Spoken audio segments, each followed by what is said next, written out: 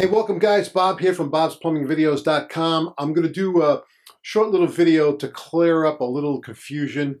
I'm getting a lot of emails from you guys um, in regards to, you know, uh, how to transition uh, from different size pipes coming out of the wall to different type of traps to different type of tubular configurations. So I want to see if I can clarify that. I did shoot a couple of videos on how to transition from the P-trap up to the sink itself.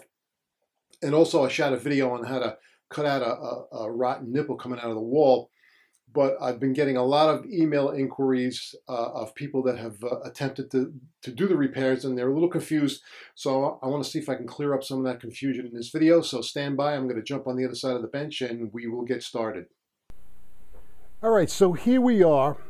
And just bear in mind what I have here on my uh, demonstration board. I actually screwed this flange. It's just a two inch flange to demonstrate uh, uh, some some two inch pipe. This is not the case. This is not what you would have under your sink.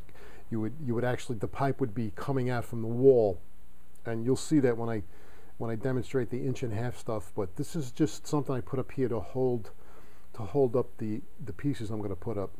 Now in New York City, uh, kitchen sinks two inch is the size. Uh, for bathroom sinks, inch and a half is the size. I know this varies across the country because I've been in, in places where I've seen actually inch and a quarter coming out for bathroom sinks. And uh, some kitchen sinks in some parts of the country are inch and a half. It depends on your local plumbing code, so that you're going to want to check on. But New York City, it's two inch and inch and a half. So the question always comes up, uh, how do I get from point A to point B? And pretty much in New York City here, most of the time we have a two inch galvanized nipple sticking out of the wall and this is pretty much the way it is. And on top of those nipples depending upon if you have a single or double sink in this case I have a a swing T trap what they call a swing T trap which will accommodate two sinks. Now these traps also come uh, singular meaning it's a you would get a two by inch and a half singular trap without the T on it and, and you would just be able to go straight up to your kitchen sink and it actually doesn't have this, this T portion on it and it doesn't have the, the, the, the swing nut on it. So there is no T, it's just two by inch and a half. So just want to clarify that. So with this type of a trap, if you had two sinks, you most certainly could get your tubular, you'd have a, a waste bend, a long waste bend, and depending upon where your other sink was, you could flip it one way or the other or wherever you needed it to be and you would connect up the auxiliary sink and the top T generally would go to the, the main sink. And after that all got connected you would want to make sure that this nut here it's like a union nut. And what I generally like to do is I like to put my pipe joint compound in there to get everything nice and secure lubricated. I'll put my pipe joint compound in there and uh, that'll secure the T in place and as you can see, this trap even has a clean end on it. So that's, that's how we would do it here if we, we had galvanized pipe coming out of the wall. Now, if you wanted to and you wanted to transition to PVC, that's not a problem. There's a couple of ways you could do it. Uh, naturally, we, we will take this trap off, and if you wanted to actually, I wouldn't leave the threads on. So if you had a sound piece of pipe coming out of the wall, meaning the pipe is good, it's not rotten, it is rotten, you're going to have to go in there and change it. If you have to change it, you'll go in to watch my video on how to cut out a rotted waste nipple.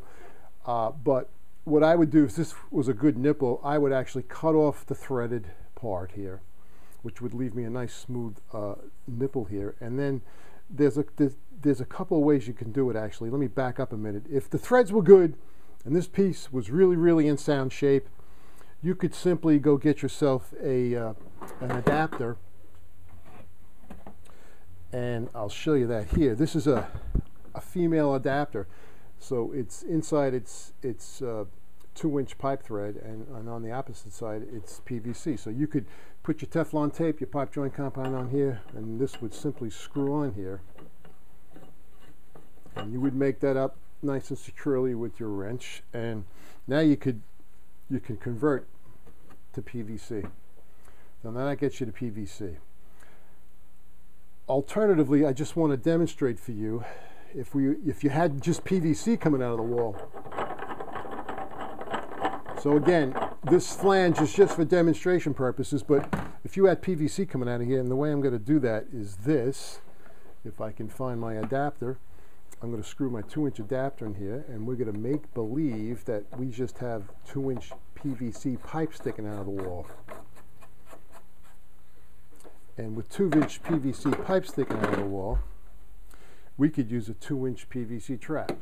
So we have a 2-inch PVC trap and this is a, a, a two-part trap, meaning it's a, it's a street elbow with a U-bend, and this is adjustable. You can flip this one way or the other. It's just you, you're going to have to mark it off, know where you want it, then glue it, and then you're done because you don't get second chances with this stuff. And if you had a single sink up tops, simply what you would do is put this bushing in here. It's a two by inch and a half bushing, PVC bushing. That would go in there like that and you would get a trap adapter. This is called a trap adapter. So this gets you to tubular. It's already got a built-in nylon washer in there. So the trap adapter and the bushing gets glued into the trap, and then you could you could you could continue on up to the sink, and that's the way that would go. And and again, you could swing this trap left, right, wherever you needed it to be. You'd have to mark it off because once you glue it, that's it. You're out of luck. Now, if you had two sinks, there's a couple of things you could do.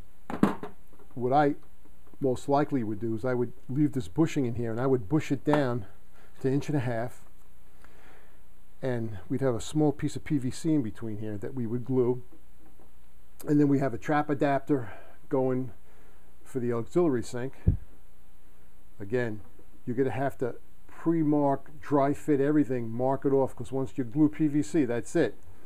And then go into the main sink. Well, that didn't work out too well, so we'll get another trap adapter over here if we can find one. This is live stuff, folks. This is this is real live stuff. So we have another trap adapter which would go on the top, and from the top again, you'd be able to transition into the tubular. Same thing here. So you can transition into the tubular this way. And again, you could turn this any way you wanted. So you, you reduce it right after the trap, it gets reduced. Now, if you didn't want to do that, or you didn't have inch and a half, and all you had was two inch, uh, you most certainly could use two inch. So you'd glue a piece of two inch in here, you'd have a two inch TY, and then what you could do is glue in your bushings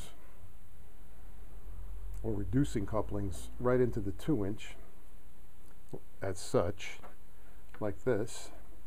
And then in, into into that part you would take your trap adapters and reduce it to inch and a half if you so wish if that's what you wanted to do. So that's another way of doing it. So you got a couple of choices there again, uh, you know, in New York, pretty much it's two inch for kitchen sinks and inch and a half for bathroom sinks. Um, you could also, if you had a piece of PVC sticking out of the wall, or galvanized for that matter, and I, have seen in a lot of the emails you guys are sending me, I guess, I guess a lot of you guys have this this chrome tubular stuff that's under your kitchen sinks. And actually, this is too small, you know, in New York City for a kitchen sink, but in some other municipalities, I guess inch and a half is legal. And I saw some pictures with this stuff. And you can most certainly do it a, a few ways. You could, you could get a no-hub clamp, which is this, which goes from two-inch pipe, iron and plastic, to inch and a half tubing. And, and you could simply, you can get your collar let's get this collar that belongs with this and that would go over the pipe like this. And then you can get your trap and put your trap in here and you can transition to the trap and you just tighten that up. Um, you could also I mean there's so many ways to do this that you probably get totally totally confused on what to do. You could also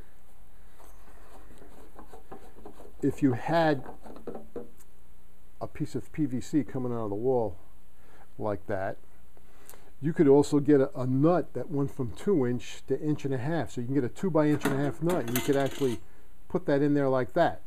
and that would work. Uh, there's a lot of possibilities here, guys, and, and it's just not one, you know, one flavor fits all. So if we're dealing under a kitchen, uh, excuse me, a bathroom sink, now the size is going to be inch and a half. And again, don't let this flange, you know, uh, boggle your mind. This is just here to, so I could hold up the two inch pipe view. So now I have my inch and a half nipple that's going in through the wall here. And if we wanted to transition to a trap, there's a couple of ways we could do it. We could um, get, again, and let me, I have so much stuff here on the table, it's, it's, it's actually crazy. Um, we could actually take our trap, and this is in a bathroom application. So we, we have our nut here, and this is inch and a half, and this would simply fit inside the inch and a half pipe and we have our nut here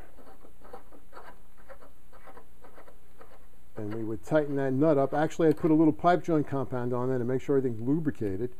And and and there's one way to to get you to the inch and a half trap. And don't forget if you if you're hooking up to a sink the the tail pieces or the uh, waste tubing coming down from a bathroom sink or a lavatory is going to be inch and a quarter, so you're going to want to use your reducing nut.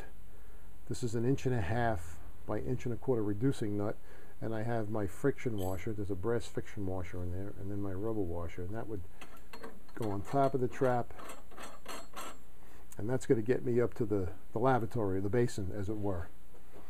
Now, if you, you you had a plain piece of pipe sticking out of the wall,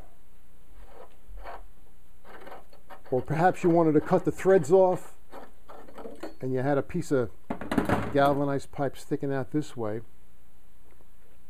As I showed you with the two inch, this is this is the two by inch and a half, two inch pipe by inch and a half tubule. They also make these an inch and a half pipe or inch and a half PVC by inch and a half tubular. So you could use that. You most certainly could use that. Um, actually, that was the wrong coupling I showed you. So this would be the one. This was two by inch and a half tubular, two inch pipe, inch and a half tubular. They make inch and a half pipe or inch and a half PVC by inch and a half tubular. So you could you could put a rubber clamp on there and clamp that on. There's so many different ways you can do it. If you wanted to convert, again, if you had a good thread here and you decided you wanted to convert to PVC, you could simply get a coupling which converted from threads, and bear with me guys, I know it's here, here it is, threaded by PVC, just like the two inch. So we can put our coupling on there. Don't forget uh, tape, Teflon tape and pipe joint compound. You'll make that up and then you can transition to plastic at that point. and and what I like to do, and the idea is, I like to bring my trap as close as possible to the sink. This way, I can use the least amount of tubular um, tubing to hook up the sink. Uh, this is a street L and a return bend. Again, when you use these, you, you got to make sure uh, you dry fit them and mark them because once you glue them, that's it. But this does give you adjustability. They make traps with this big nut on it, which I'm not a fan of because invariably they leak. I don't know why, but I, I put a lot of pipe joint compound on here, my Teflon Mega Lock, and you can, this will give you adjustability and you don't have to worry about marking it and it's not a one-shot deal. You can actually loosen these and go from side to side. So you'll be able to go wherever you need to go with this. And again, if you have to transition to the sink, you're simply going to use a um, trap adapter and that'll get you to the tubular stuff. So that's pretty simple that way. And, and, and I think that's about it, guys. Uh, there's so many different ways you can do it. It depends, again, on what you have coming out of the wall. Again, I like to bring my trap as close as I can to the sink, so I will go out of my way to bring this as close as the sink as I can. I, you know, I, I hate seeing jobs where, you know, you have the piece coming out here and you'll have the trap sitting close to the wall, and then they'll run like you know 36 inches of tubing, you know, or, or 48 inches of tubing one way or the other. I'd rather get the trap centrally located between, if it's a double sink, between my two sinks. So I will extend this out eh, with pipe, whether it be PVC pipe, whether it be DWV pipe. Uh, you know, whether you want to do it with galvanized, which is in today's world is probably you know something you're not going to see much of, you would want to transition to PVC. So once again, if you wanted to transition to PVC, in this case, you'd simply take that coupling with the threads on it, make that up with your Teflon, and then you can continue. And now you can glue this all the way and get it over to where you need it to get it. Put your trap on over here. Um, if you wanted to do it again, in the two inch size, we'll take this out and here we got the two inch nipple. So you got your two inch nipple sticking out of the wall. So you could you could put your, your threaded coupling by, by socket and, and transition to PVC. If you didn't have one of these couplings, what I probably would do is cut these threads off and then you would get your stock two inch no hub coupling like this and get that on there. And now you now you transition to, to, to PVC and now you can just continue on to wherever you have to go. And that also works with the inch and a half. If you wanted to extend it with inch and a half and you didn't have these couplings with the with the threads in it you can most certainly use an inch and a half uh, no-hub coupling. So I hope that clarified some stuff, guys. There's, there's a zillion different ways you can do it. I got a lot of stuff on the bench here which you can't see, but you know, it depends on the application. And again, the ideal way to do it is to bring the trap as close as you can to the sink. You know, uh, I've seen traps that were up against the wall and then you see, you know, 18, 24, 48 inches of tubing. It, it looks ridiculous.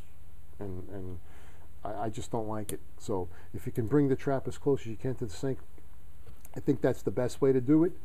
Uh, so I hope this gave you a little insight as to some different ways you can transition from the wall over to the sink.